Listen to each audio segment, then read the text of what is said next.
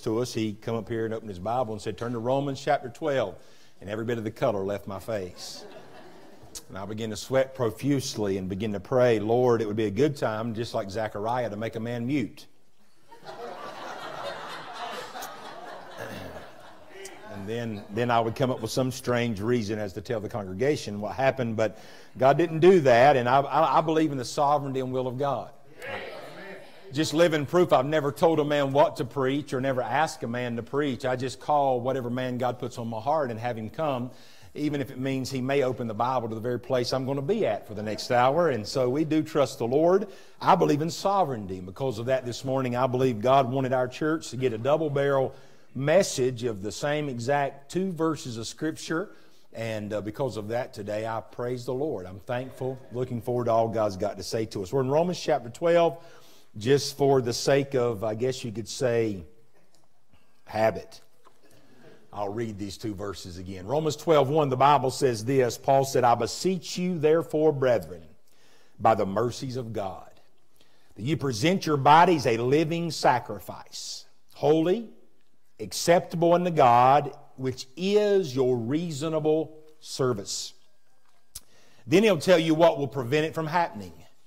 And be not conformed to this world, but be ye transformed by the renewing of your mind, that ye may prove what is that good and acceptable and perfect will of God.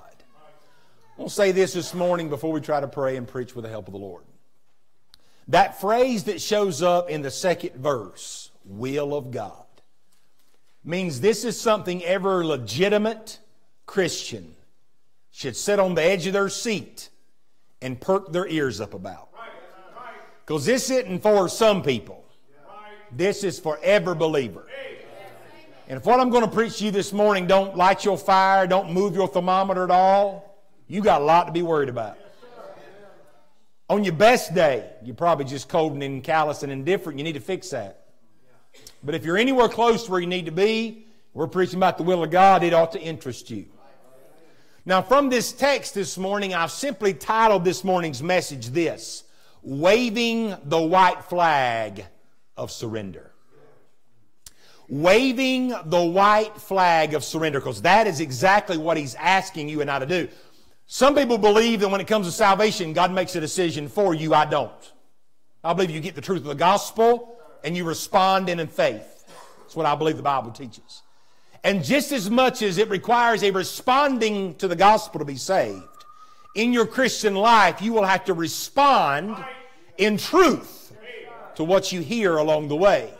And what God, the will of God for every born again child of God is to wave a flag of surrender. Your flesh will want to fight this process all the way to your dying day. And unless you wave the white flag of surrender, you'll miss out on everything God's got for you in Romans chapter 12, verses 1 and 2. So the plea of the church is this wave the white flag of surrender. Stop the fight.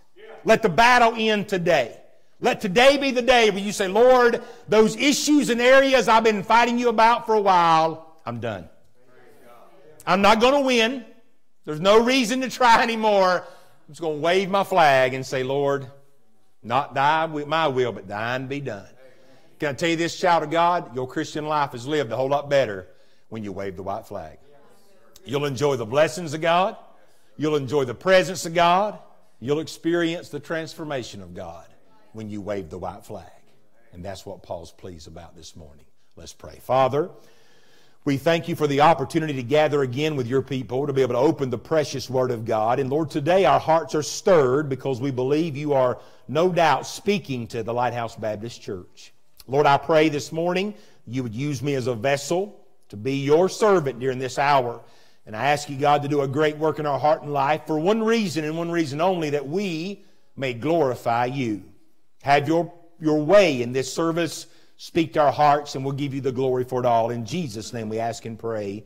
Amen and amen. We've been preaching through the book of Romans now on Sunday morning for quite a while, and up to this point in Romans, of course, the first 11 chapters being what I'm referring to, Paul has been dealing with some very strong doctrinal teaching. Brother Mason alluded to that a little earlier, but just to refresh our memories, chapters 1 through 5, Paul was dealing with the subject matter of salvation. In chapters 6, 7, and 8, he was dealing with sanctification. And then in chapters 9, 10, and 11, he was dealing with the promised seed or the, the nation of Israel, the people of God that were under the Abrahamic covenant.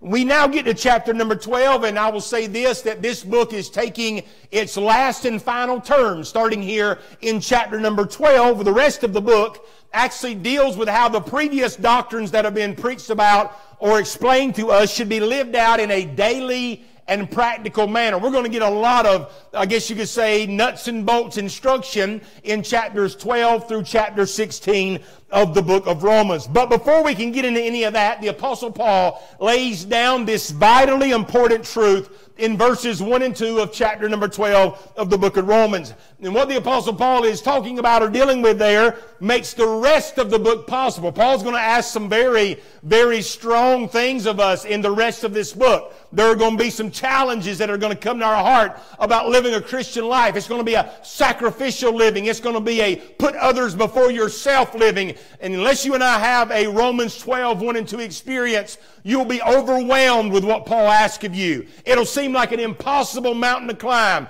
But can I say this for the child of God? Whenever you wave the white flag of surrender, you get to actually live out whenever Jesus says this to you and I in the Gospels. Take my yoke upon you and learn of me, for I'm meek and lowly in heart, and you shall find rest in your souls. The Christian life is not hard to live if you're living in the power of the Spirit of God. However, if you're trying to have the best of both worlds, if you're fighting the Lord, wanting your cake, amen, of, of, of eternity, and then you're, you're, uh, you're, you're, being able to eat it too, being in, living in the flesh, you're going to have a difficult journey along the way. And so the Apostle Paul basically dives in about showing us that if you and I are willingly surrendered to the will of God for our life, it will be no doubt a, an area we can navigate with the help of the Lord. He starts off here with what I call a threefold invitation. Notice here in first part of verse number one, in one phrase, or he makes this statement. First of all, there is a plea in the invitation. He says, I beseech you therefore. That word beseech, if you're taking notes, simply means to invite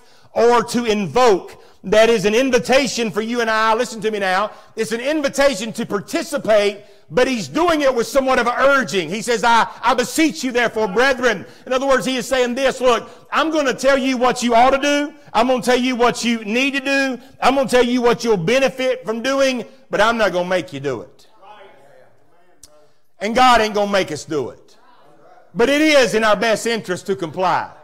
It's like you parents, you understand as you're raising your children and uh, their little minds are forming and growing and sometimes their body outgrows their minds and sometimes uh, what they think about life and you're trying to guide them along the way and mold them and a lot of times what you're telling them don't always sit well with them and don't always understand it. But in the back of your mind as a parent, you're thinking, you're telling them, I know I do, if you'll just listen to me and trust me, you're going to come out a lot better than I did because I wouldn't listen and I did not trust and therefore I learned unnecessary lessons the hard way. Can I say that's how God works with His children? He gives us what we need to know. And if you and I just listen and if we'll just trust Him, God knows what we need more than we understand or know it ourselves.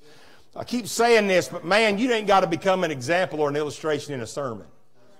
Bible's replete with people who thought they knew more than God. Every time somebody done something contrary to the scriptures, and you can start in the book of Genesis and find it all the way to Revelation, and, and mankind has got that as part of his human flaw. We know so much until life smacks us in the face. So we see there is a plea in the invitation. Then we see also the people for the invitation. He makes it clear in verse number one of Romans 12. He says he's addressing brethren. That means that plea is directed towards saved people. Why is he addressing, addressing brethren? I'll tell you why he's addressing saved people for. Because God isn't asking an unsaved person to conform to anything. The answer for the unsaved is not confirmation. Listen, a lost, for a lost person, God desires salvation, not confirmation. God's desire for somebody that's not saved is not just that they start going to church, not just that they cut out the bad things in their life. That would just be conforming to something. But listen to me this morning. Confirmation without salvation is nothing but imitation. God doesn't want humanity to have imitation. God wants humanity to experience a transformation. And that transformation only comes when you walk into that relationship with Jesus Christ at salvation. Jesus did not die on Calvary for man to live a live imitation.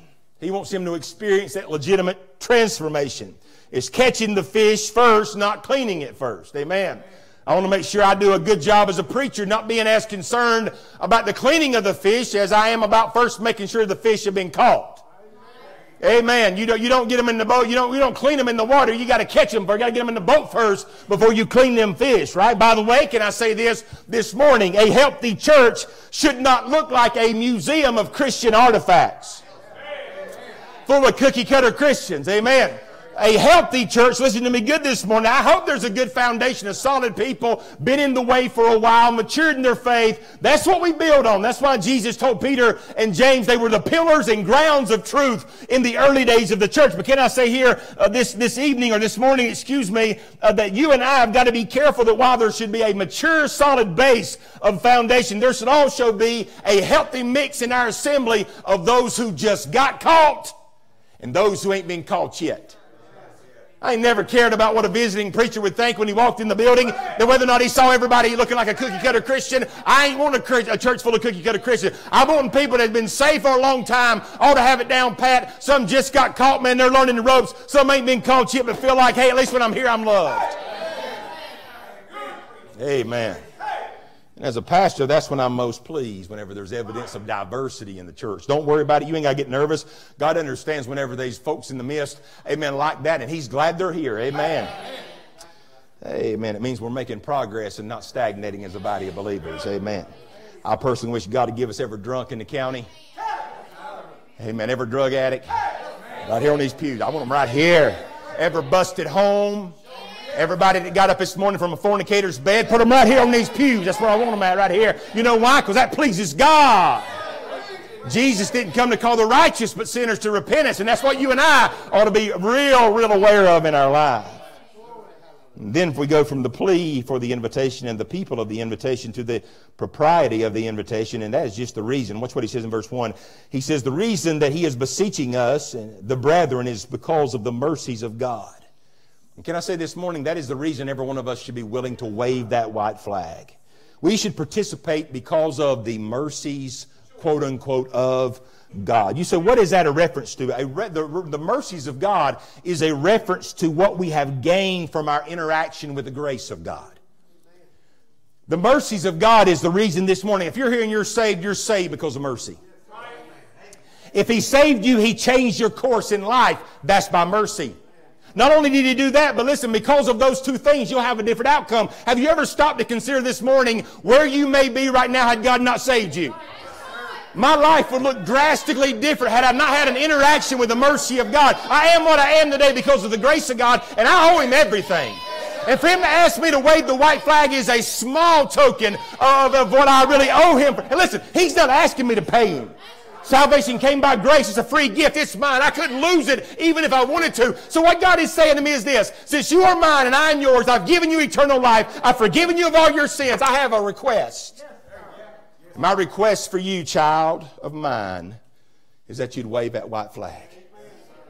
That you would allow me to do in you and through you what would bring me the most pleasure and glory. Make no mistake about it, Paul said over in Romans 2, verse 4, Romans chapter 2, verse earlier in the book, he said this that it was the goodness of God that leadeth thee to repentance. I, I didn't repent because, though I could have, I didn't repent because of judgment. I repented because God loved on me. I repented, but judgment was real. It was right around the corner. I was, I was, I was deserving of judgment, but I repented because the, and I want to say this, I'm still repenting today because of the goodness of God. God just didn't, His goodness didn't stop at salvation. Really, I just realized it at salvation. It's still been going on. God's been good to this old boy. And because of that, I would be just a reb- rebellious kid. I mean, I'd be a snot-nosed brat as a child of God to take the white flag out of the air and quit waving it of surrender and say, well, thank you for salvation. Now I'm going to go do me and I'll see you at the judgment. That would be a very sorry excuse for a child to do something like that. That moves us into in our text. Now, here's the question we're going to ask and answer this morning. Then, if waving the white flag of surrender is what God wants, then what is the process of waving the white uh, flag of surrender all about? You ready? Look there in verse number one. I'm going to give you four, five, six, seven, eight, 25 things. We'll be done eating pizza here for you know it, all right? The first thing I find is what I call the presentation that takes place in verse number one. Paul said, I beseech you therefore, brethren, by the mercies of God, and here's the presentation, that ye present your bodies. Paul's plea, listen now, in the first part of this book is that there would be a presentation to God by you, by me, an individual of ourselves. You know what that speaks of? That speaks of something that is done voluntarily.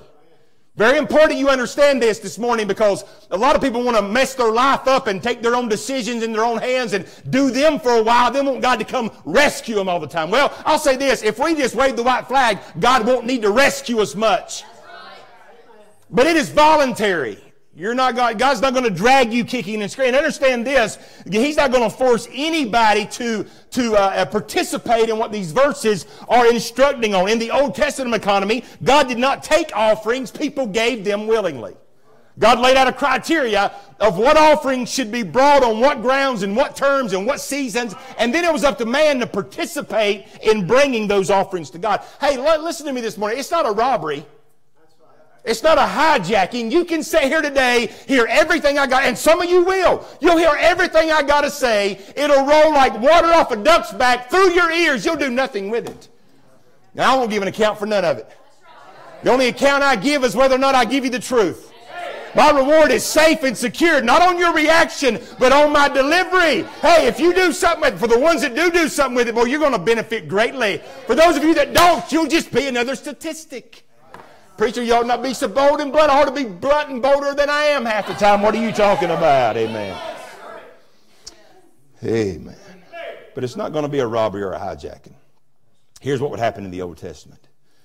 In the Old Testament, whenever a sacrificial offering was brought, it was always an animal or some kind of commodity.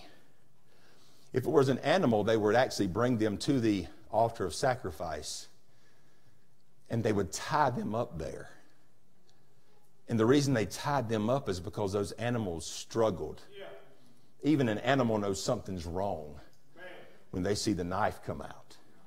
So, Preacher, you got any Bible for that? Yeah, actually, I do. If you'll write down Psalms 118, verse 27, here's what the Word of God says It says, God is the Lord which has showed us light. Bind the sacrifice with cords, even unto the horns of the altar we went to the tabernacle a couple years ago and we, we, had, we had replicas built of every piece of, of, of furniture.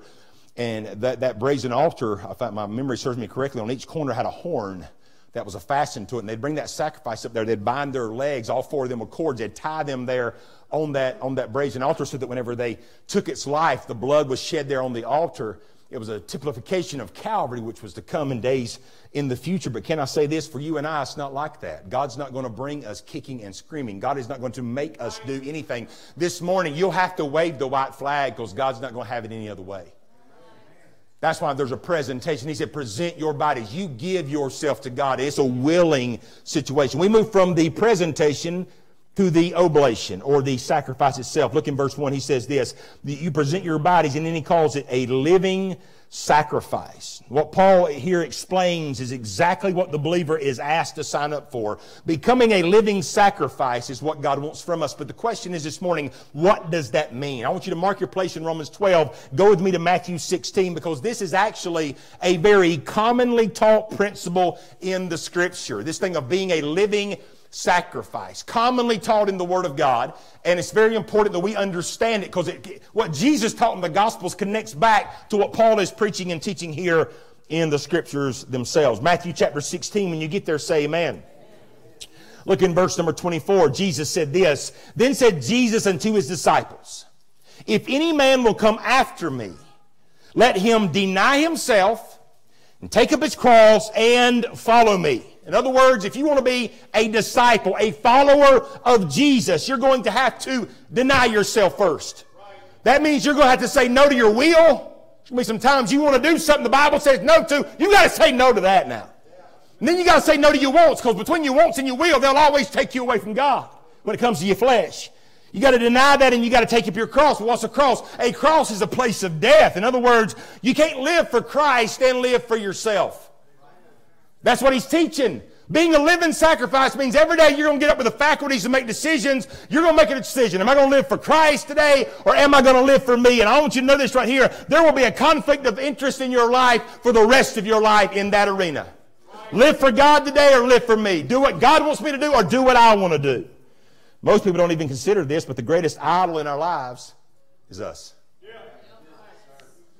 When we think of idol worship, we think of totem poles and statues. We think of Hinduism. We think of things like that. But honestly, the greatest idol you'll ever say no to is yourself.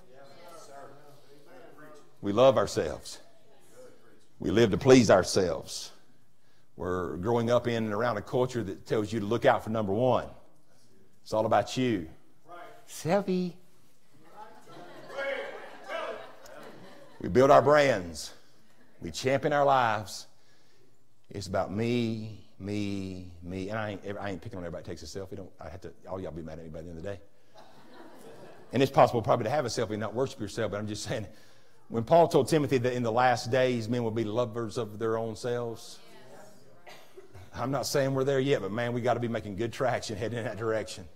All right? And so there's an oblation. Now look into the next verse, verse 25. Here's what he says For whosoever will save his life shall lose it, and whosoever will lose his life for my sake shall find it. What's he talking about? Well, the previous verse tells you the light of truth that he's discussing here. Basically, what he's saying is this that if you decide not to take up your cross and deny yourself and follow him, you're going to lose your life or you're going to waste it. He said, however, but if you'll do what I told you to do, follow me and then take up your cross and die to yourself daily there, he said, you will find your life or you will invest your life in something with eternal value. Verse 26, he gives us an exhortation. What, and for what is a man profited if he gain the whole world and lose his own soul? Or what shall a man give in exchange for his soul? In other words, here's what he's saying. You're going to live eternity. You're going to live the rest of your eternity somewhere, heaven or hell.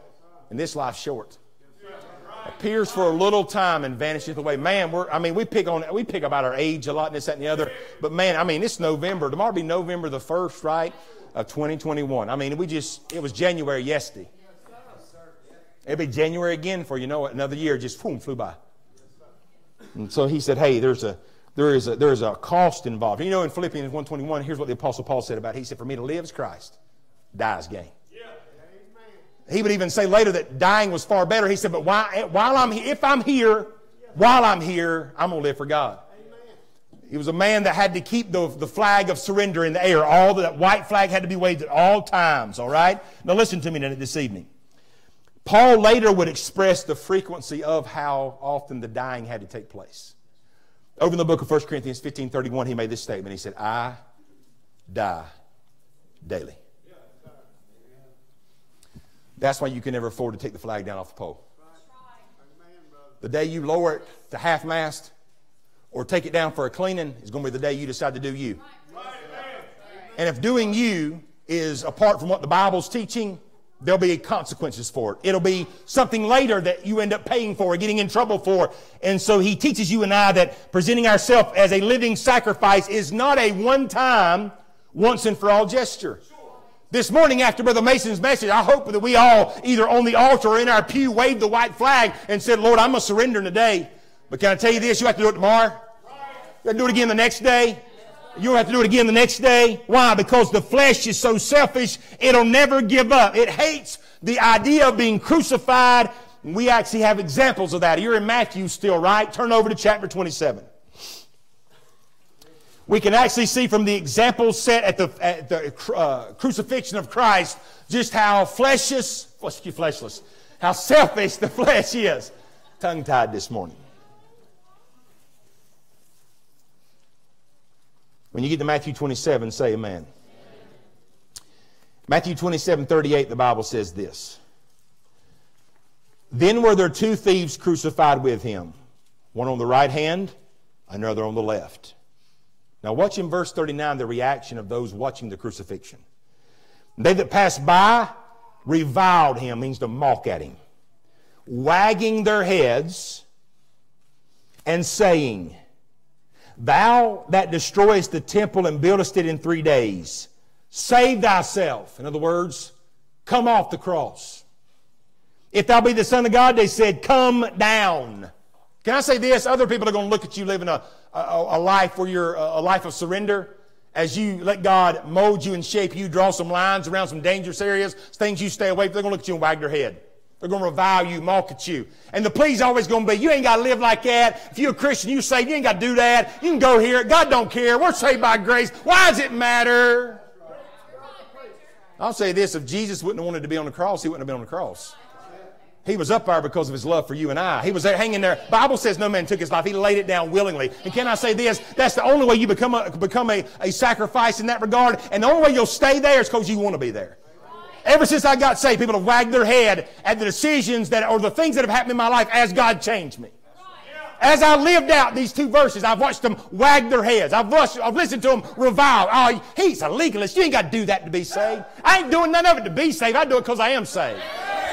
I'm doing it because I'm waving the flag saying, You know better than I know with my life, God. You do what you want to with it, it's yours anyway. Now, watch what happens in the next verse, verse 42. Oh, I'm sorry, verse 41. Likewise, also the chief priests. Don't read past that. That's the religious crowd. Notice what they were doing, mocking him. and they do. Can I stop and say this right here? I don't get a lot of flack from, from those outside the church.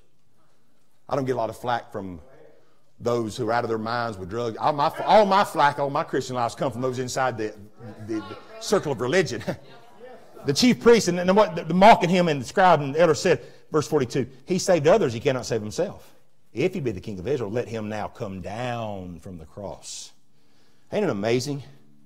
All the fleshly cries from the foot of the cross was this come down. Stop this nonsense. This is unnecessary. If you're really God's son, why do you have to die? You ain't got to do it. Prove to us who you are. But here's what you and I know. In this scene, Jesus was in the middle of the Father's will. He had waved the white flag of surrender because back in the garden, he had made this plea to his Father. He said, Father, if it be possible, let this cup pass from me, that nevertheless, not my will, but thine be done. Do you really think that God is going to ask you or I or allow you and I to live our life in this, on this side of eternity and never ask something extremely hard of you? That's ridiculous. Because he asked something real hard of his son. And what was his son's response? If there's another way, can we do it that way? But if there's not, it's okay. Whatever your will is, Father, that's what we'll do. Today's Christianity, you know what we want? We want easy street. We'll serve God up to that little marker in the road where it gets a, just a little bit hard. And that's whenever we take the flag down off the pole and say, you know what? I bet you there's somewhere else we can go church where they won't ask that stuff of you. Amen. I, I, maybe, maybe that's what the problem is. Maybe it's just the preaching. Maybe it's the church, whatever. I'm going to say this. Anywhere you go, you can run, but you can't hide.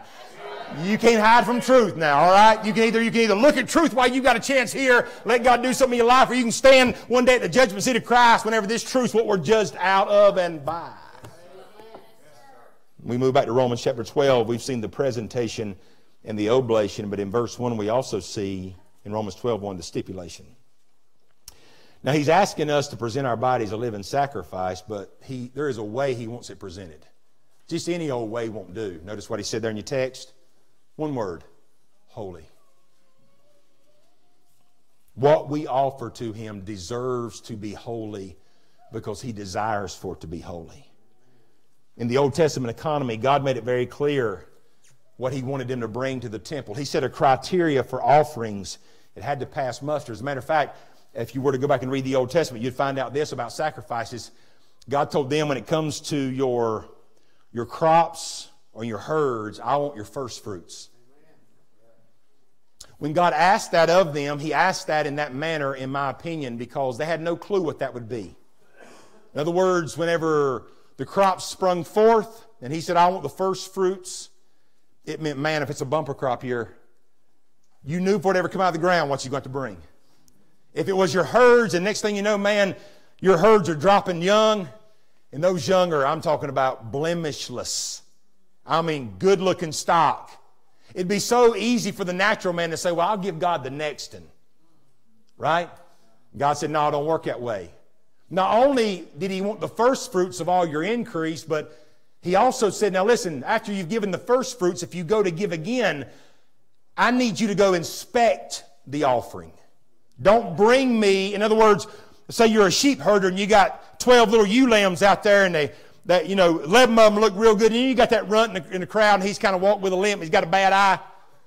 It'd be real easy like say, you know, that one's worth less at the market. I go give him to Jesus. Yeah. Take him down there. I showed up with my offering, Lord. Eh, yeah, you did, didn't you? You think a lot of me, don't you, son? you had you got you got 12 in the herd, and 11 of them was just fine as fine could be, and you brought me that one that wouldn't even bring about half the value at the market, didn't you? Now I'm gonna prove to you. Now you know I'm gonna prove to you what I'm preaching, right? Go to Malachi chapter one. Go to Matthew. Just turn backwards one book. That's the cheap version, all right? I help you get there. It's one of them little bitty books, four chapters, so it's hard to find. But go to Matthew and, and turn left in your Bible. Go slow now when you turn left because you'll run right past the road. You ever do that sometimes? I want you to see this with your eyes. That way you can say, man, that, that boy right there, he preached the book, don't he? He sure does. You ready? Malachi chapter 1. Did you get there? Malachi chapter 1. All right, look in verse 6. We're going to read slow here because I can't, I can't fly by it now. You ready? He said, A son honoreth his father, and a servant his master. If I then be a father, this is God talking to the nation, where is mine honor? And if I be a master, where is my fear? saith the Lord of hosts unto you. O priests, he's addressing the religious hierarchy, that despise my name. And ye say, Wherein have we despised thy name? Just typical humanity. God lays out the charge. What did we do wrong? What did we do so bad? You know, like God was like wrong, like he had addressed the wrong crowd. Like when he was dressing Israel, he should have been dressing like, you know, the Assyrians or something, right? Look in verse number seven. He says, All right, you asked, so I'm going to tell you what you did. Ye offer, here's the accusation, polluted bread upon mine altar, and ye say, Wherein have we polluted thee? In that ye say, The table of the Lord is content. In other words, when it's time to make a bread offering, they brought moldy bread, polluted bread, bread they couldn't eat nor sell. Next verse, verse 8. And if ye offer the blind for sacrifice, this is an animal, is it not evil? And if ye offer the lame and the sick, is it not evil?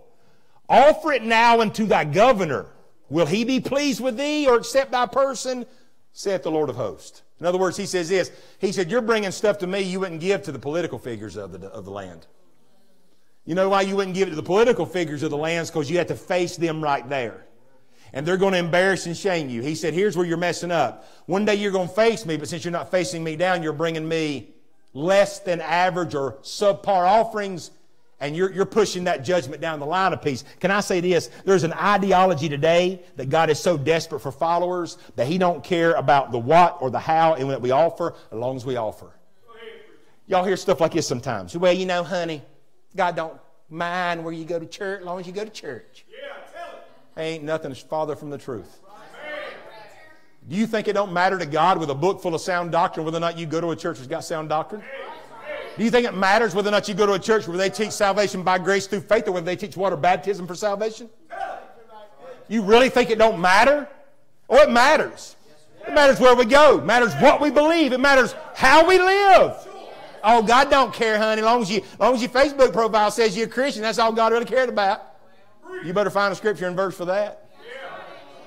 You'll search long, uh, far, and wide and not find one. Amen. It so matters where you go to church that every New Testament Christian ought to make it a top priority of their life. Ask Lot this morning if location matters. Lot made a bad decision and settled for what was financially prosperous over what was spiritually healthy, and generations of his family paid the price. Oh, it matters. Oh, it matters a lot to God. We act like God is some struggling political candidate, barely hanging on in the primaries, and as long as we'll vote for him, he don't really care about anything else. That's a lie, friend. Go back to Romans chapter 12. I got to get out of here. Y'all's pizza is going to be cold before you get to it. So there's a presentation in this text, there's an oblation, there's a stipulation, and then there's an affirmation in verse 1 and 2. Watch this of Romans 12. In the latter part, after he mentions that that sacrifice should be holy, he tells us this it's acceptable unto God. Latter part of verse number 2, watch this, last about six, seven words. He says that whenever we do this, it's good, acceptable and perfect will of God. Not only does God accept this, but God desires this. It's one of those issues, as I said earlier, falls in the will of God for everybody's life. Listen, it's not, well, that's good for them. I'm tickled for them. Good for y'all. Y'all going on down. Good for y'all. Y'all fanatics. Good. I'm going to do me. Well, that's fine, but nobody should follow you. Don't talk to anybody about not waving the flag of surrender in their life if you're not going to wave it in yours. Just, just listen, dry up and die by yourself. I understand we live in a very uh, a culture very weak in their constitution, and they need somebody to be like them and to pat them on the back. But look, if you're going to spiritually deteriorate into nothingness, do it alone, man. Don't take nobody with you. Now, for everybody listening to my voice this morning, everybody around you, going to try to take you with them. That's what they tell you whenever they disagree with this and disagree with that and don't like so and so. They're trying to get you to agree with them. You are a fool if you agree with somebody going contrary to the Bible. Amen. If you've been justified, listen to me now. God is communicating to us clearly and without exception. I want you to wave the flag. Affirmation. Now look in verse number one at the adoration. Brother Mason hit on this lightly. I just want to touch on it just a little bit myself. At the end of verse number one, he calls this, this request our reasonable service. That word service means worship. Now listen to me. So God is telling you and I that there's a beseeching that we present our bodies a living sacrifice, holy and acceptable unto God. Here's what God is saying to us. When you do that, I see it as an act of worship. It's an act of adoration.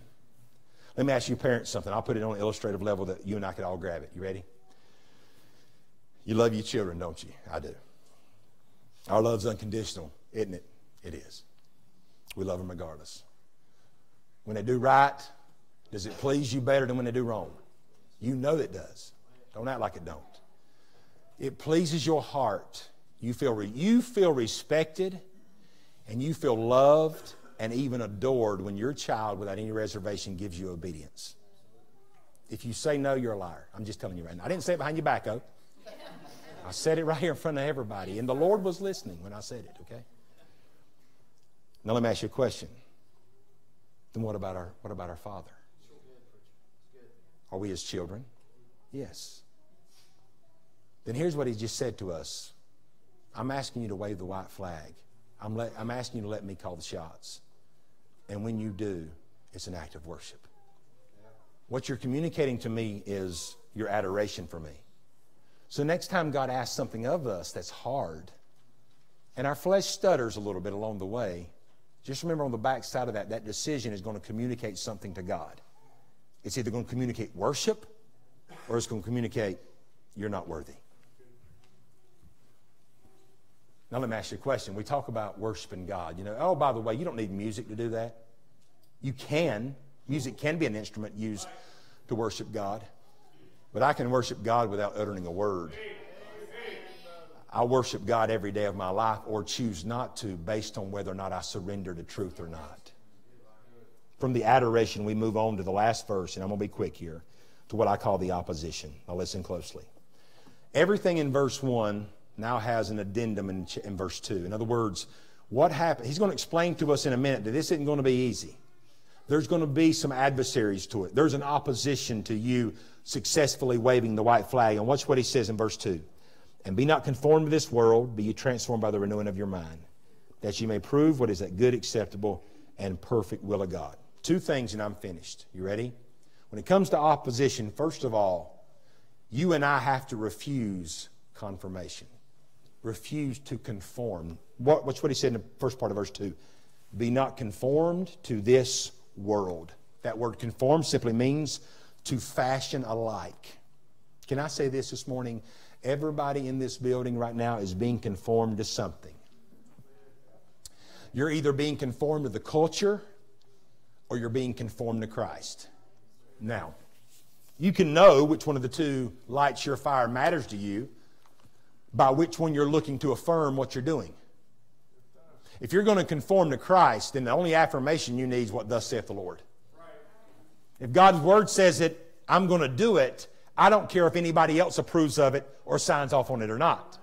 However, and this is where too many of God's children rest at or land. If you're being conformed by the culture, it matters what other people think about what you're doing. You need approval. Without their approval, you can't hardly make it. You can't survive. You'll go into a cocoon. You'll barely make it unless my parents, listen now, or my friends, or my coworkers, or my community. I need the approval of other people, regardless of whether or not God approves. That's a, that's a, that's a fast track to be conformed to the world. Be not conformed. That's a, that's, that, that's a statement. That is a, that is a command. And that exhortation right there means that for most of us, listen, that's the state he found us in was conformed to the world. For most of us, I can say this for myself, and you know what he desires to do? Exactly what Brother Mason said this morning. When he found you and I conformed to the world, his desire for us is metamorphosis. Over in 2 Corinthians 5:17, when it says this, therefore, if any man be in Christ, he's a new creature. There is no there is nobody that gets left out of that equation, by the way. If you get saved, you become new. But that's not the end of the verse. Here's what he says Old things are passed away. Behold, all things become new. September the 6th, 1998, I got saved.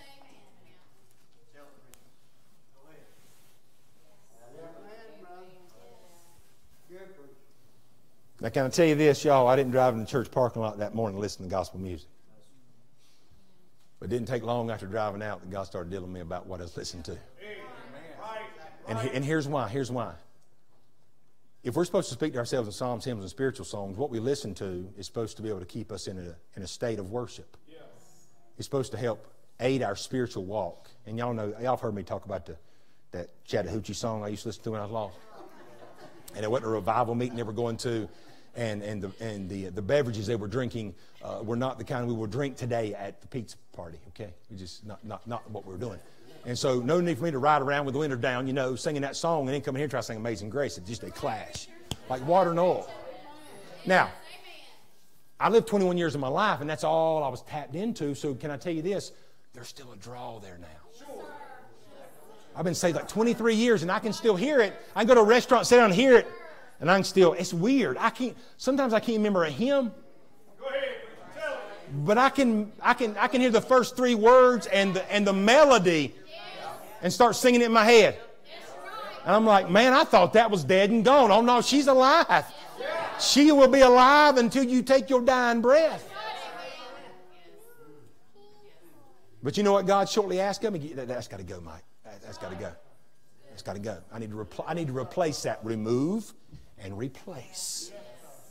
I did not, I did not have to, to run my friends off. I just started talking about Jesus a lot and, and witnessing to them. And, and I kind of noticed they kind of started, I started separating. Old Mike's all right and everything, but I believe the old boy flipped his lid. Drunk some kind of religious drink, and now he's going off the deep end. And most time they say stuff like that, just it's a phase. Give it a while, it'll, it'll, it'll be over. Well, the phase has lasted 20 some years now. I don't think this one's going to end. Because what they call a phase, amen, is actually a new birth. But listen, now listen, them old things, they, they're still passing. It's a lifelong process. And God's still getting rid of them little by little. And as He gets rid of them, see, some of them old things were things like my temper, my unforgiving spirit and bad attitude. He's still breaking that stuff out of me today. And every time he deals with me, I got one or two, two, two, I got one or two decisions I can make. I can make an excuse for it, or I can wave the white flag. He said, I want you to refuse confirmation. And when we resist it, listen now, we desire, listen, we deny God his desire for us, which is to be conformed, and we rob him of the glory he would get from it. We're the salt of the earth, light of the world. And the only way they ever become that in its maximum capacity is wave the white flag. Now, for us to resist that, that's a fine howdy do you tell you give to somebody who just saved you from hell, ain't it? So we refuse confirmation in verse 2. I'm, I'm done right here. After you refuse confirmation or being conformed to the world, then you embrace transformation. Here's what he says happens. Verse 2 But be ye transformed by the renewing of your mind. Can I just stop and call time out and say this?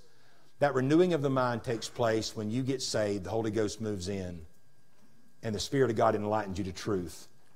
If the Spirit of God is not there, what this Bible will ask of you will seem overbearing. What God will ask of you if you're not saved will seem hard and legalistic.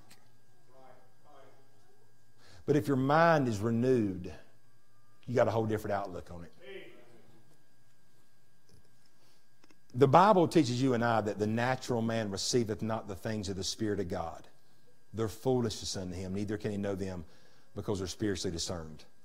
If someone who was lost heard some of the preaching that's done in pulpits around America, or when they do, it's crazy. What do you mean? Go to church that much and then you want me to go out there and work my job and give and to play. And then y'all want to give do missions, and then you want me to give up some of my time and serve. And goodness, man, I just want to go to heaven when I die. To a natural mind, it's overwhelming, overbearing. But as somebody who's been born again, and that, that mind gets renewed, trust me. Listen to me now. You know what, word renew means? That word renew means renovation. It means God comes in and, and makes everything brand new between your ears, all right? And I want to say this, and I'll be done preaching. As your pastor, I will never desire, nor will it be my decision to preach what pleases the congregation or draws the crowd. I want to preach the word faithfully. I want to preach the word rightly divided. And here's why. Because to a congregation of believers with renewed minds, that's what changes them for God's glory and for their benefit. I understood when I signed up and accepted the call that that was the reason that you're going to live a life of rejection. A lot of people will reject you over this, and they can't help it. Because when they're natural and their mind's never been renewed, everything this book says is in opposition to what they want. But when somebody's born again, this is their hope. It's food for their soul. And as they wave the white flag of surrender, they, they're on the wheel of that master, that, that, that master potter. And he's molding and shaping their life and bringing glory to himself while he does it. And the more he does that, the lost world around us has got to take notice of what God's doing in you, through you, and for you. Do you realize this? And I'm done right here. I'm, I promise. You and I are the only Bible most people ever read. That's what Paul meant when he said, You're our epistles, written, read, and known of all men. Now listen. For an unsurrendered child of God, the world's getting a perversion of the, of the book. Can you imagine what would happen right now? You, I mean, there would be a gasp in the building if I were to rip out the book of Romans, mm, throw it on the ground. Rip out the book of Genesis, throw it on the ground. I mean, some of y'all get up and walk out, that preacher's a heretic. You know, usually rightfully so. That's fine. I wouldn't have a problem with that. But hang on a second. What about whenever we say, I ain't listening to that? If he preaches that, I'm out. I'm gone. No way. Uh-uh. I ain't here. I ain't changing there. You forget that. Ain't happening, boy. I go somewhere where they won't preach on that stuff. Don't look now, but your flag's lowered. Don't look now, but you've took your flag to half mast. Don't look now, but don't look now, but your flag's been ripped off the pole. I'm gonna tell you what every born again child of God or the walking house got every time say, hey, give me the book, preacher. I just I've been praying for you. Just give me the book. If it's amen or old me, just give me the book. Oh, bring the book. Preach the book, preacher. And I realized before I walked in the door, there's a good chance that I may have something come up tonight in the message, but I may have to wave the white flag on and surrender about, okay? But I didn't come. I didn't come to fight him. I come to worship him. You realize right here, I mean, in like five to seven seconds, you're getting a chance to worship here in a minute. And it's all about whether that flag shoots up the pole or whether it comes back down, waving the white flag of surrender. Every head bowed, every eye closed. There's only one response to a message like that with the air in your life, and the response is